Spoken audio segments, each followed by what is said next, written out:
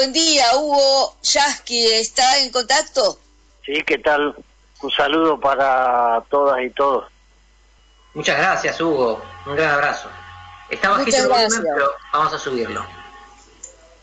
Muchas gracias, compañero. Eh, bueno, una gran alegría. Vamos a hacer una presentación formal. Estamos hablando con Hugo Yasky, eh, maestro, líder sindical, político argentino, secretario general de la CTA, eh, fue secretario también de la CETERA y es actualmente diputado nacional por la provincia de Buenos Aires por el bloque del Frente para la Victoria PJ, Unidad Ciudadana. Bueno, hecha la presentación, compañero, eh, agradecerle nuevamente y, hablar con usted de, muchos temas que han tenido entre sus manos. Eh, el Congreso eh, usted ha llevado adelante eh, eh, en diputados lo que ahora Senado sancionó como ley de las del aporte extraordinario a las grandes fortunas.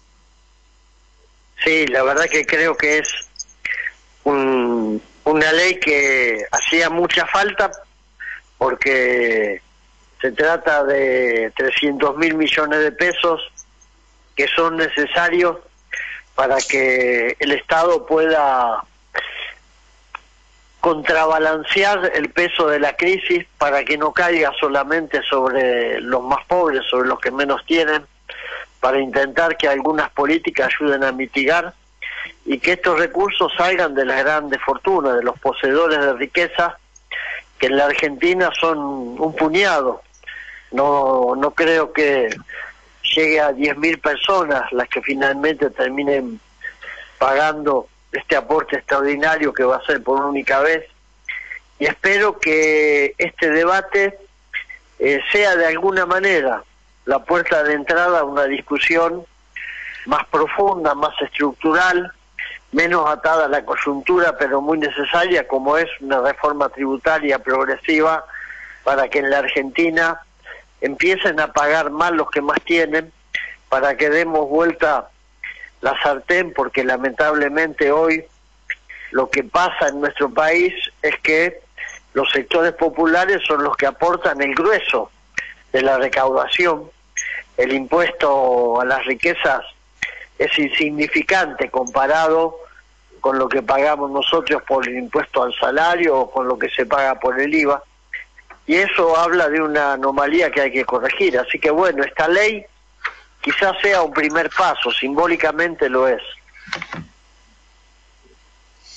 Eh, sí, no, y eso eh, esperamos que, ese dinero volcado a la producción, al desarrollo, a la industria y también, por supuesto, a la salud y a la educación pública eh, permite a la reconstrucción que nuestro país y nuestro pueblo merece y necesita. Eh, quería eh, consultarle a usted, eh, porque en su rol de docente, en la ciudad de Buenos Aires hemos visto en las palabras de la ministra Soledad Acuña que han agraviado a todo el colectivo de los educadores eh, queríamos, bueno, tener una consideración suya. Sí, creo que son expresiones eh, propias de quienes han sido parte durante cuatro años de lo que nosotros llamamos el gobierno de los ricos para los ricos, porque no hay que olvidar que una pieza fundamental del engranaje del gobierno de Mauricio Macri, de lo que ellos llamaban el mejor equipo del mundo, que eran los CEOs de los grandes grupos financieros, de las grandes empresas multinacionales, de las energéticas, de los agronegocios. Una pieza, un engranaje fundamental fue la ciudad de Buenos Aires, lo fue la reta, y la ministra Acuña forma parte de eso, por eso que creo que la estigmatización que hace de los docentes, la, el intento de descalificarlos por provenir de familias, la mayoría de ellos, de trabajadores. Eh, el, brutal eh, ataque a la escuela pública, porque hablar de una educación que no tiene la posibilidad de darle movilidad social a, la Argentina es hablar de una educación que va segmentando, que va haciendo que los que poseen poder adquisitivo eduquen a sus hijos en escuelas donde se van a formar los nuevos emprendedores, los nuevos empresarios, y que la escuela pública quede para formar mano de obra barata. Esa idea de que el que nació pobre tiene que morir pobre y el que nació rico tiene que morir más rico, es la que expresa las palabras de Acuña. Descalificar al docente por su condición social, pedir vigilancia, pedir que los padres sean una especie de contralor de lo que puede hacer este, la palabra de un docente frente a sus alumnos. La verdad que es un hecho aberrante que, bueno, uno estaba de alguna manera preparado para escucharlo de boca de ministros cuando provenían de dictaduras militares, pero no de una ministra que llegó al cargo que tiene, porque bueno, la democracia se lo permitió, el voto popular en definitiva se lo permitió. Ahí te van a hacer una pregunta Marcelo Vilesker, ah. que va a habilitar el micrófono. Ahora sí, ahora sí.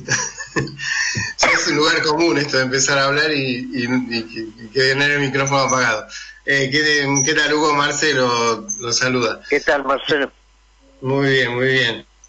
Vuelvo al tema anterior de la reforma, de la reforma, perdón, del aporte solidario y se me escapó reforma porque también está el tema de la reforma de la justicia eh, ahí pendiente. Y la pregunta que le quería hacer era, bueno, hay una reacción muy fuerte de los que tienen que hacer este aporte, amenazando con ir a la, a la justicia, que eventualmente llegará a la Corte Suprema de Justicia, que creo que ya es muy obvio de que la Corte Suprema de Justicia eh, este, tiene, tiene la balanza inclinada y no es muy confiable.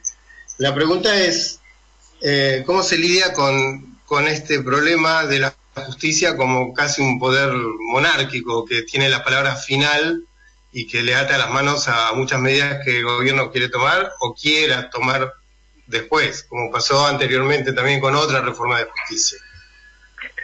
Sí, yo creo que está claro que el aparato judicial y sobre todo la cúspide de ese aparato hablo de la Corte Suprema, hablo de los jueces federales, conforman un, eh, una especie de engranaje absolutamente funcional a las clases dominantes de nuestro país. Eh, esa idea de que hay una justicia para los ricos y otra justicia para los pobres, que el pueblo tiene, porque la eso que se expresa a veces en que un ladrón de gallina este va a tener más condena que un ladrón de guante blanco, aunque sus delitos sean abrumadoramente mayores y más gravosos para el pueblo, es así. Eso el pueblo lo siente a flor de piel y responde a una realidad.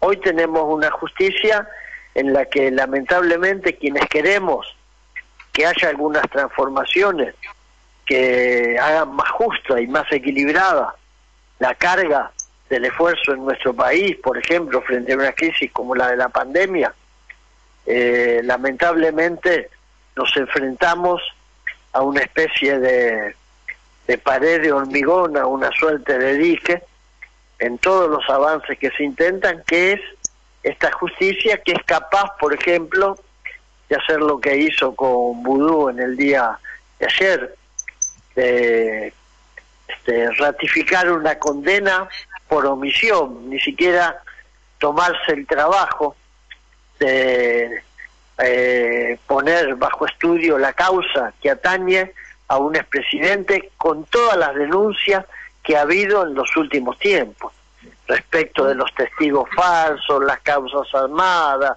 los testigos que testimoniaron bajo presión, otros que recibieron prebendas, como es el caso justamente del testigo clave en la causa de Vudú, que terminó recibiendo en pago nada más ni nada menos que un hotel boutique. Todo eso hace que para el pueblo argentino la justicia con absoluta razón este, sea una justicia que por debajo de la venda siempre tiene un ojo para mirar los intereses de los más poderosos y para salvaguardarlos. Y creo que en ese sentido amenazan con ir a la justicia porque saben que es como decir, miren que por más que ustedes voten estas leyes, nosotros después tenemos los jueces amigos que se van a encargar de despedazarla. Pero de todas formas, tenemos que estar en guardia y vamos a ver, vamos a ver si realmente pueden utilizar esta vez la justicia para zafar, porque creo que va a ser una pelea que hay que darla. Hugo, te habla Alejandro Ananía, ¿cómo estás? Eh, Bien. Ya que, estamos hablando del tema de, de vudú, eh, es muy claro que están utilizando el sistema judicial para eh, castigar a quienes han sido responsables de las medidas que mejoraron la vida de la sociedad y de las personas. Y es notable que están eh, presionando con eso. Ahora, ¿cómo podemos avanzar como pueblo? ¿Cómo podemos avanzar como movimiento nacional que integra un colectivo este, para, para, para, trabajar y para ser un país cada día más soberano, cuando tenemos todavía eh, este aparato judicial eh, que trabaja por fuera de la ley, pero sigue activo. ¿Cómo podemos avanzar? ¿O, tendríamos que hacer algo para desactivarlo? ¿Cómo, ¿Cómo lo desarmamos en todo caso? Yo creo que el pueblo tiene que seguir dando batalla y ganando batalla. Es la única manera de avanzar. No va a haber una sola a partir de la cual todo idílicamente cambie de un día para el otro. Ganamos una elección, es verdad, pero todos sabíamos que ganar la elección significaba estar en mejores condiciones para seguir la lucha por lo que viene. Y la lucha por lo que viene tiene que ver con avanzar con conquista democrática, con hacer más justa este, en términos económicos el reparto de la riqueza, con hacer democratizar la justicia, con ponerle límites a los grandes grupos económicos y todas esas son batallas que vamos a tener que seguir dando. Eh, yo creo que el pueblo tiene que eh, cohesionar y defender la unidad, tiene que estar en la calle, tiene que estar en condiciones de hacerse escuchar, tiene que expresarse a través de solicitadas, a través de marchas, hay que ponerles el aliento en la nuca, que sepan que estamos ahí, que sepan que vamos a seguir y vamos a seguir mal que les pese, que no va a haber nada que nos detenga. Una sucesión de batallas que vayamos ganando es lo que va a hacer que ellos cada vez tengan menos margen para este tipo de maniobras que son antidemocráticas, que son pensadas para ponerle límites a los avances del campo popular y que forman parte de una estrategia que se da en Argentina, en Brasil, en Perú, en Colombia, en América Latina toda, este, porque lamentablemente vemos que la justicia actúa como una especie de brazo de los grupos dominantes en toda América. Pero bueno, lo único que va a cambiar esto es más avance, más batallas ganadas por los sectores populares. Muchas gracias. Compañero, Hugo Yasky, le agradecemos muchísimo la, la deferencia de habernos dado esta entrevista. El tiempo de radio es muy escaso siempre. Eh, y más escaso cuando tenemos un, entrevistado con esa claridad expositiva como la suya. Volveremos a comunicarnos con usted, el pueblo en la lucha entonces y en la calle ejerciendo la ciudadanía. Eh, ese es el mensaje que nos quedamos con usted. Si quiere dar un cierre a esto, eh, los últimos 15 segundos para usted, compañero. No, agradecerle y bueno, seguir con la Guardia en Muchas gracias. Un abrazo grande, compañero. Hasta luego. Hasta, luego. Hablamos recién con Hugo Yasky, diputado nacional, docente, militante eh, y un hombre del campo nacional y popular.